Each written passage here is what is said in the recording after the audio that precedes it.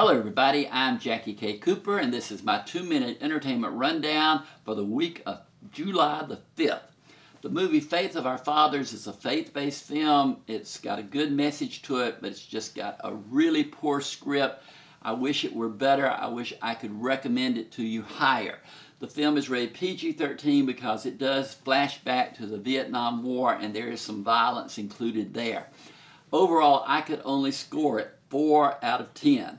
Much better was Me and Earl and the Dying Girl. This is a film that came out of nowhere and I saw it and loved it.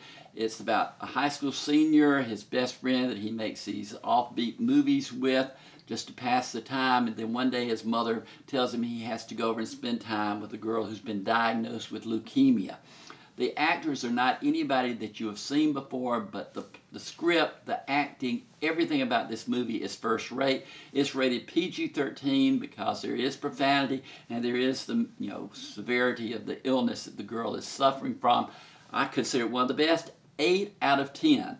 Then we have Channing Tatum back to reprise his role as Magic Mike in Magic Mike XXL.